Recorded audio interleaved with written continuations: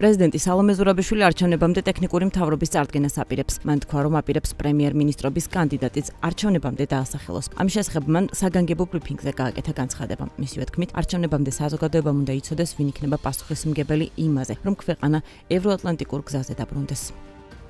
რაც პირობა დავდები საზოგადოების წინაშე, მიმაჩნია, რომ შესრულებულია ეს კარტია შედგა, ეს არის ჩვენი სამოქმედო გეგმა, რომ დაუბრუნდეთ ჩვენ ევროპულ მომავალს, რომ ჩვენ გადაურჩეთ რუსულ წარსულს თუ მომავალს, ვინმე თუ ფიქრობს, რომ ეს შეიძლება მომავალი იყოს და გარანტია მივცეთ საქართველოს დამოუკიდებლობას, საქართველოს წინსვლას.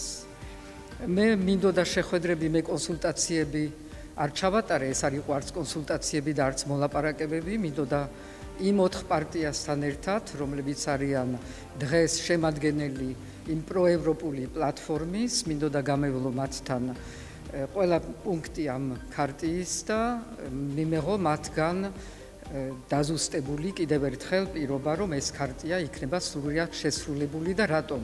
იმიტომ რომ მე ამ კარტიით წავედი ევროპაში, შეხვდი ყველა პასუხისგებელ პირებს და მათგან მივიღე პირობა რომ ეს თუ შესრულდება რაღაც დონეზე ცხადი არის რომ არავინ არ დაგვიწყებს მე ეს ერთი პუნქტი თუ მეორე პუნქტი მაგრამ თლიანობაში პოლიტიკური ნება და ამ კარტიით სვლელობა თუ იქნება პირობა მივიღე და ეს ავიღე როგორც ჩემი პასუხისგებლობა რომ ჩვენ დაგვაბრუნებენ სასწრაფო ტემპით იქ სადაც უნდა ყოფილიყავით ანუ მოლაპარაკებების გახსნის კარებთან. მე ვაპირებ რომ წარმადგინო ტექნიკური მთავრობა, რომელიც ასევე საზოგადოებისთვის 26 მაისს მქონდა წარდგენილი, რადგან საზოგადოების დაკვეთა არ არის, რომ პოლიტიკოსებმა ისევე მანდატები გადაინაწილონ და მთავრობა შექმნან ამ ეტაპზე, ამ გარდამავალ ეტაპზე.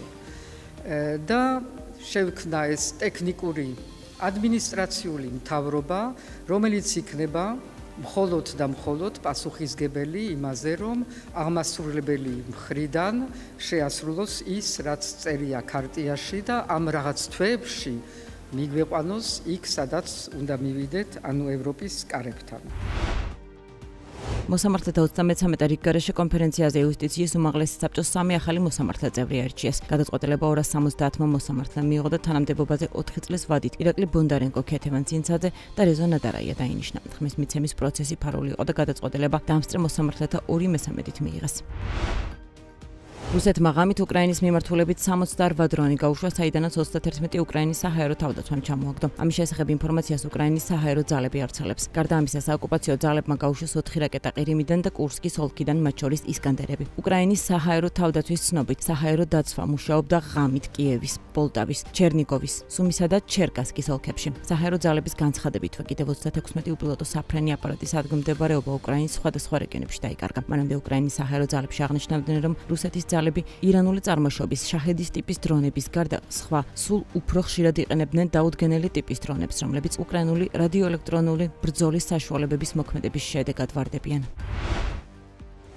ისრაელის თავდაცვის ძალებმა ბოლო 24 საათის განმავლობაში ლიბანის სხვადასხვა რაიონში 200-მდე ობიექტს მიაყენეს დარტყმა და ათობით მებრძოლი განადგურეს. ინფორმაციას მედია ისრაელის არმიის პრესსამსახურზე დაყრდნობით ავრცელებს. თავდაცვის ძალებში ამბობენ, რომ აგრძელებენ ოპერაციებს ღაზას სექტორში, სადაც მათი მონაცემებით ერთ დღეში 40-მდე ტერორისტული ინფრასტრუქტურულ ობიექტს დაარტყეს და ათობით პალესტინელი რადიკალის ლიკვიდაცია განახორციელეს.